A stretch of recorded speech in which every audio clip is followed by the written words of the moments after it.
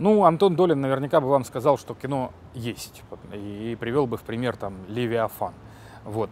А я человек не, не, не столь искушенный в искусстве кинематографа. Я люблю, значит, я, для меня кино это как баня. Я прихожу туда, значит, сажусь, у меня выключаются мозги. Вот мне нужен такой кинематограф.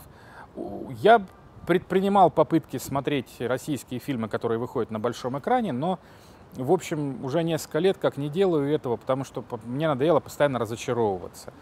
Увы, э, но в России кино снимают для того, чтобы просто освоить деньги. То же самое у нас происходило с поп-музыкой, в которой я, кстати, был искушен и перестал этим заниматься, просто потому что у нас не делают музыку для того, чтобы ее продать, у нас делают музыку для того, чтобы освоить бюджет, который выделен на то, чтобы ее сделать. То же самое и с кино. Кино не делается для того, чтобы его продать, оно делается для того, чтобы потратить деньги, которые на него выделены, в том числе и государством.